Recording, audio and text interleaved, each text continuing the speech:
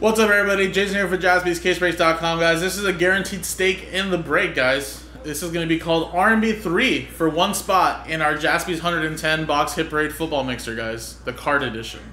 Now, how this works, guys, the name RNB 3 will get a team in the hit parade card mixer.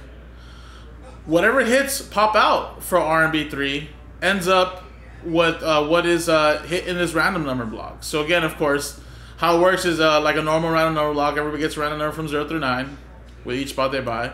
If RNB3 gets randomized to Jaguars and we pull a Trevor Lawrence serial number 3 out of 10, then that means that if you have number 3 in the serial number and you're an RNB3, you will get that Trevor Lawrence.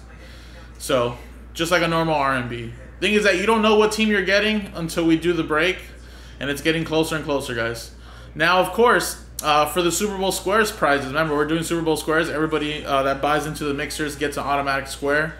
So just remember, if uh, the team uh, that wins, or if the RNB 3 that represents you guys wins a Super Bowl Square prize, we'll randomize the prize between the 10 participants. So here we go, guys. Let's do the dice roll. Here's the customer names and the numbers. Let's roll it. Uh, four and a three, seven times. Good luck. One, two, three, four, five, six, seven. Seven times. Four, three, seven. Mark at the top, Donald Joel.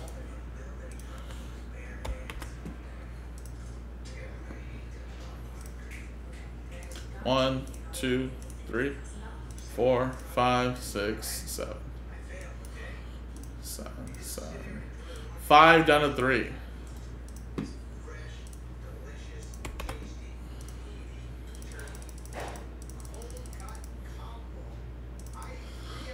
All right, so Mark with five, Robin with seven, Michael with six, or Michael, all that is. Eugene with four, Brian Crouch one, Simon with eight, Michael with two, Nico with nine, Ryan with zero, and Joel with three. So there you go. Now remember too, guys, obviously there is a chance that some of these cards in the mixer might not be numbered. And just like a normal RNB, if they're not numbered, we'll randomize it between you guys, of course, depending on how many there is. Either all in one lot or just spread them out evenly. Um, but hopefully everything should be numbered. But like I said, if there isn't, don't worry. You guys get a chance at everything. So appreciate it, guys. Good luck. And uh, like I said, the mixer's getting closer and closer, guys. Thank you.